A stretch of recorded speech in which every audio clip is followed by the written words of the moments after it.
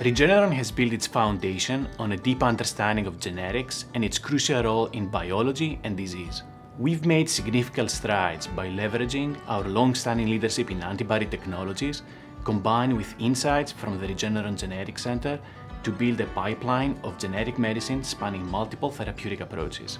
This includes gene silencing, editing, and gene therapy, areas where we see great potential to address a spectrum of serious conditions. With our collaborators, Regeneron is really uniquely suited to bring a wealth of genetic and biological expertise and next-generation delivery methods to precisely target disease with genetic medicines.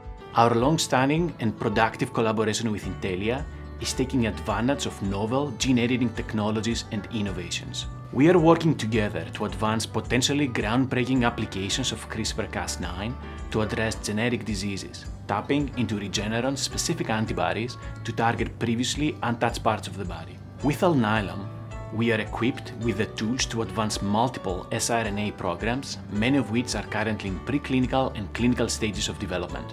We acquired Decibel Therapeutics after years of successful collaboration. The integration of Decibel's programs, capabilities, and accomplished team are bolstering Regeneron's genetic medicines portfolio and advancing our mission of helping patients around the globe. Together, we are building a pipeline of programs targeting congenital hearing loss caused by single gene mutations, and we've seen incredible results in improving hearing in a profoundly deaf child.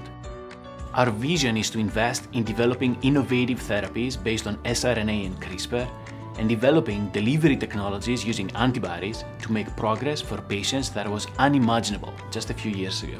Moving forward, we'll continue to stay true to our science-driven roots while expanding our capabilities and global reach. By advancing our in-house genetic research and technologies and working alongside our collaborators, we're pursuing treatments with innovative technologies across diseases, marking a new era for medicine.